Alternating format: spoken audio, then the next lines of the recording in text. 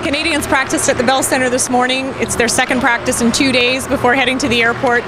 They play in New Jersey tomorrow night. It's the first of their three games on the road, their final road trip of the season. It's obviously a pivotal one for the Canadiens who want to stop this late season slump that they've been in since they clinched a playoff spot. No, we got to get back to our good habits. We got two good practice, I believe. Uh, there was a lot of teaching.